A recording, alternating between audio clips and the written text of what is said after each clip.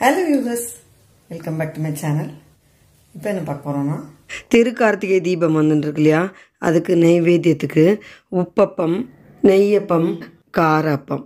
மூணு எப்படி பண்ணலான்னு பார்க்கலாம். உப்பப்பத்துக்கு ரெண்டு அழாக்கு பச்சரிசி எடுத்துட்டுருக்கேன் பச்சரிசி எத்தனை எடுத்துட்டு இருக்கோமோ அதில் நாலில் ஒரு பங்கு உளுத்தம்பருப்பு நான் ரெண்டு அழாக்கு பச்சரிசிக்கு அரை அழாக்கு உளுத்தம்பருப்பு சேர்த்துருக்கேன்.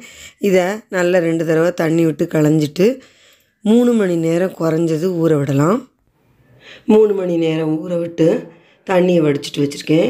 இதை மிக்சியில் சேர்த்து கொஞ்சமாக தண்ணி விட்டு ஃபைன் பேஸ்ட்டை அரைச்சி எடுத்துன்னு வந்துட்டேன். பாருங்கள் மாவு நல்ல கெட்டியாக இருக்குது இதை வேறு பாத்திரத்தில் விட்டு குறைஞ்சது எட்டு மணி நேரம் புளிக்க வச்சுட்டு அப்புறம் பார்க்கலாம். மாவு அரைச்சி வச்சு எட்டு ஒம்பது மணி நேரம் ஆயாச்சு. நல்லா பொங்கி புளிச்சிருக்கு பாருங்க. கூல் கிளைமேட்டாக இருந்தால் பொங்கிறதுக்கு டைம் எடுக்கும்.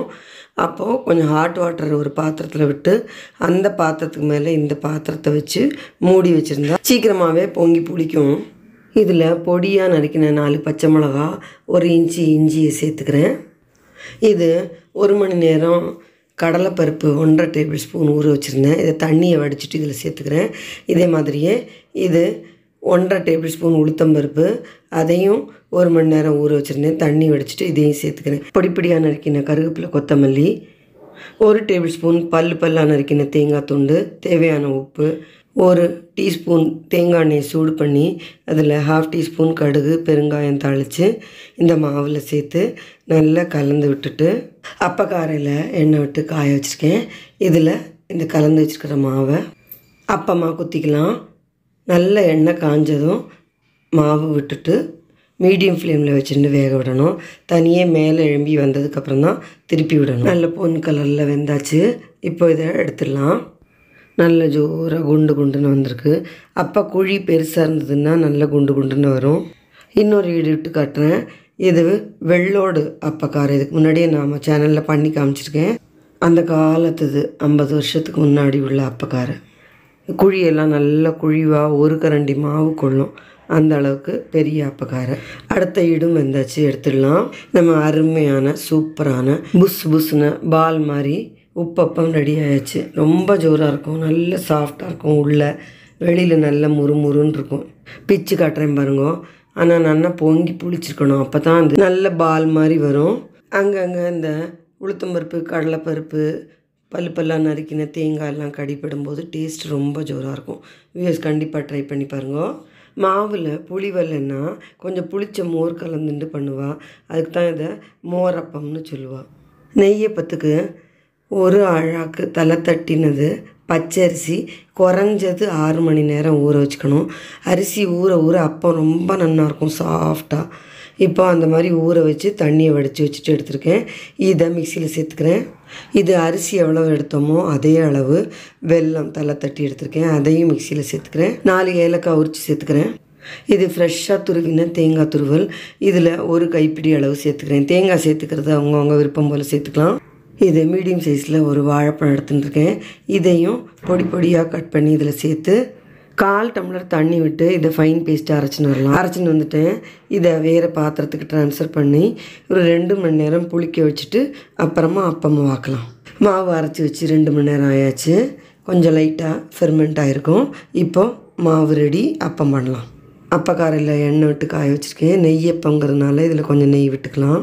நீங்கள் விருப்பப்பட்டால் ஃபுல்லாகவே கூட நெய் விட்டு பண்ணலாம். இப்போது அப்பமாக்கலாம் மாவோட கன்சிஸ்டன்சி பார்த்துக்கோங்க. இது கரெக்டாக இருக்குது ரொம்ப கெட்டியாக இருந்ததுன்னா கொஞ்சம் தண்ணி விட்டு கரைச்சிக்கலாம். நல்லா காய வச்சுட்டு மீடியம் ஃப்ளேமில் வச்சுட்டு அப்பமாக்கலாம் அப்பம் வெந்து தனியே மேலே எழும்பி வர வரைக்கும் டிஸ்டர்ப் பண்ண வேண்டாம். அப்பம் வெந்து மேலே எழும்பி வரது பாருங்க. இப்போ ஒன்று ஒன்றுத்தையாக திருப்பி விட்டுக்கலாம். நல்ல பொன் கலரில் வெந்தாச்சு. இப்போ எடுத்துடலாம்.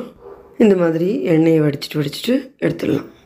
அடுத்த இடம் இந்த மாதிரியே மாவு விட்டு விட்டு அப்பமாக வேக விட்டு எடுத்துக்கலாம். நம்ம சூப்பரான நெய்யப்பம் ரெடி இந்த அப்பக்குழி நல்ல பெருசாக இருக்கிறதுனால குண்டு குண்டுன்னு புஸ் புஸ்னே வரும்.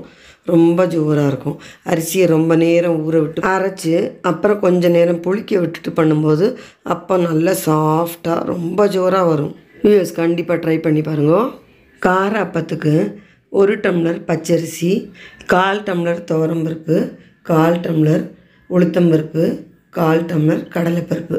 சேர்த்து ரெண்டு தடவை களைஞ்சிட்டு ஊற வச்சுருக்கேன். மூணு மணி நேரமாக தண்ணி வடித்து வச்சுட்டு வச்சுருக்கேன். இதை மிக்சியில் சேர்த்துக்கலாம் அரைக்கிறதுக்கு. காரத்துக்கு நான் எட்டு மிளகாத்தூள் சேர்த்துக்கிறேன். காரம் உங்களுக்கு நான் பார்த்து சேர்த்துக்கோங்க. இதில் பச்சை மிளகாயும் பொடியாக கட் பண்ணி போட போகிறோம் இதுக்கு தேவையான உப்பு சேர்த்து கொஞ்சமாக தண்ணி விட்டு ரொம்ப வழுமூணும் இல்லாமல் லைட்டாக கரகரப்பாக அரைச்சி எடுத்துன்னு வந்துட்டேன். மாவோட கன்சிஸ்டன்சி இந்த மாதிரி இருக்குது இதை வேறு பாத்திரத்துக்கு ட்ரான்ஸ்ஃபர் பண்ணி குறைஞ்சது ஒரு நாலஞ்சு மணி நேரமாவது புளிக்க விடணும். அப்போ தான் அப்பா நன்னா வரும். மாவு அரைச்சி வச்சு ஆறு மணி நேரம் ஆச்சு. ரொம்ப ஒன்றும் பொங்கலை. கூல் கிளைமேட்டாக இருக்கிறதுனால. ஆனாலும் மாவில் லைட்டாக ஒரு புளிப்பு வந்திருக்கும். இதில் ஹாஃப் டீஸ்பூன் பெருங்காய பொடி ஒன்றரை டீஸ்பூன் தேங்காய் எண்ணெய் சூடு பண்ணி இதில் ஹாஃப் டீஸ்பூன் கடுகு ஒரு துண்டு இஞ்சி மூணு பச்சை மிளகாய் பொடியாக நறுக்கியிருக்கேன். அதோட கொஞ்சம் கருவேப்பிலையும் கிள்ளி வச்சுருக்கேன். அதையும் சேர்த்து இந்த தாளிதத்தை இந்த மாவில் சேர்த்துட்டு இது ஒரு கைப்பிடி அளவு பயத்தம்பருப்பை அரை மணி நேரம் ஊற வச்சு நல்ல தண்ணியை வடித்து புழிஞ்சு எடுத்திருக்கேன். இதையும் இந்த மாவோட சேர்த்து இது கூடவே ஃப்ரெஷ்ஷாக துருவின தேங்காய் துருவில் ஒரு ரெண்டு டேபிள் ஸ்பூன் சேர்த்துக்கிறேன். பல்லு பல்லான்னு இருக்கிற தேங்காய் துண்டும் சேர்த்துக்கலாம். இது நல்லா கலந்து விட்டுட்டு ஸ்டவ்வில் அப்பக்காரையில் எண்ணெய் காய வச்சுருக்கேன். அதில் கார அப்பமாக குத்தி எடுத்துக்கலாம். மீடியம் ஃப்ளேமில் வச்சுட்டு வேக விட்டு எடுத்துக்கலாம். அப்போ தான் உள்ளெல்லாம் நன்னா வேகும். தனியே மேலே எழும்பி வந்தாச்சு. பாருங்க. இப்போ இதை திருப்பி திருப்பி விட்டு வேக விட்டு எடுத்துக்கலாம். நல்ல கோல்டன் ப்ரௌன் கலரில் வெந்தாச்சு. இப்போது இதை எல்லாத்தையுமே எடுத்துடலாம். நல்ல சூப்பராக குண்டு குண்டாக பால் மாதிரி நல்ல ஃப்ளஃபியான காரப்பம் ரெடி அடுத்த ஈடு விட்டுருந்தேன். அதுவும் வெந்தாச்சு. சில பேர் அடை பண்ணுவா சில பேர் வடை பண்ணுவா சில பேர் இந்த மாதிரி காரப்பம் உப்பப்பம் எல்லாம் பண்ணுவா. நம்ம சேனலில் ஏற்கனவே ஈஸியாக பண்ணுற அதிரசம் அப்பம் எல்லாமே செஞ்சு காமிச்சிருக்கேன்.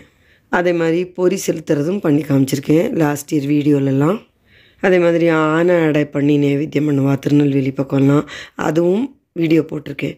அதோட லிங்க் எல்லாம் டிஸ்கிரிப்ஷன் பாக்ஸில் கொடுக்குறேன் பார்த்துக்கோங்க. நம்ம சூப்பரான ஃப்ளஃபியான காராப்பம் ரெடி எவ்வளோ சாஃப்டாக இருக்குது உள்ள வெளியில் நல்ல மொறு மொறுன்னு ரொம்ப ஜோராக இருக்கும். வியூஸ் கண்டிப்பாக இந்த உப்பப்பம் நெய்யப்பம் காரப்பம் எல்லாத்தையும் ட்ரை பண்ணி பார்த்துட்டு உங்கள் ஃபீட்பேக்லாம் எனக்கு போஸ்ட் பண்ணுங்க. இந்த வீடியோ எல்லாருக்கும் யூஸ்ஃபுல்லாக இருக்கும்னு நினைக்கிறேன். லைக் பண்ணுங்க ஷேர் பண்ணுங்க சப்ஸ்கிரைப் பண்ணுங்க. தேங்க்யூ ஃபார் வாட்சிங்